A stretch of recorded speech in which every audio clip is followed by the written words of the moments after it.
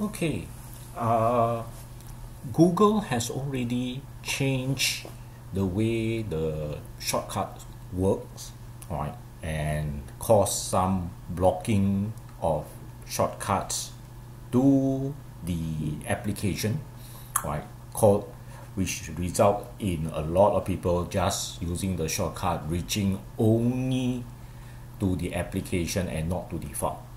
So uh, I found that out and I came up with another solution and I'm going to test it out and hopefully it works well here.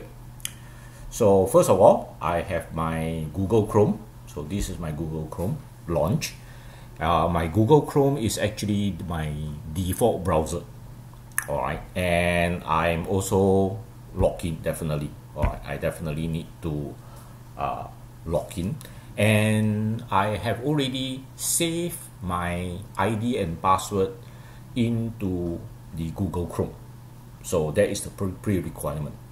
And I have here on the screen my one of my files, right? Particularly is for my Singapore secondary mathematics.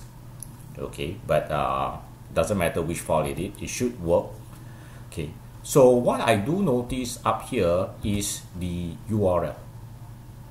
Okay, so it has a very long URL, okay, with all these funny, funny number really. But doesn't really matter. I'll just make a copy of this. Okay, I'm just gonna make a copy of this. Now, in order to test this, I'm gonna totally close my Google Chrome. So Google Chrome is totally closed okay?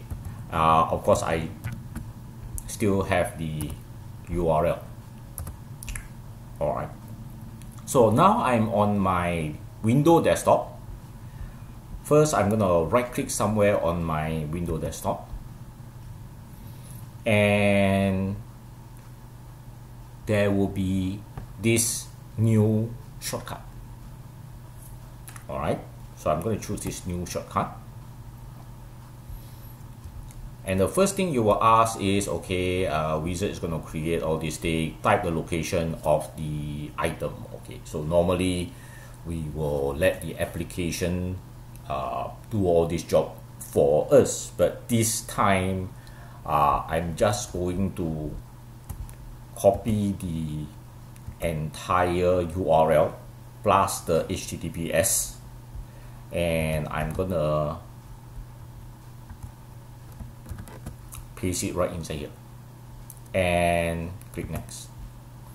Okay so of course uh, name of this shortcut uh, okay my uh, Google Sheet uh, test. Okay whatever. Okay and I'll click finish.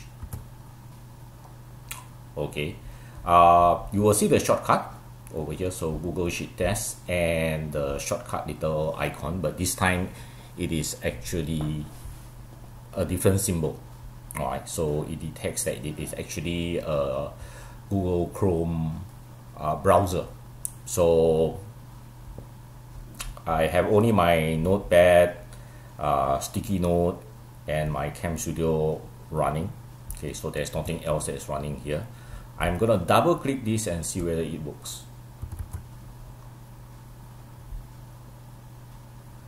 and okay it launched my Google Chrome. Alright you will log in uh, using my ID password that I have uh, saved. And it has successfully opened the Google Sheet that I showed just now. So hopefully this time uh, Google will not block uh, this type of shortcut and allow us the convenience of launching our Google Sheet or whichever Google documents right, uh, directly from our desktop.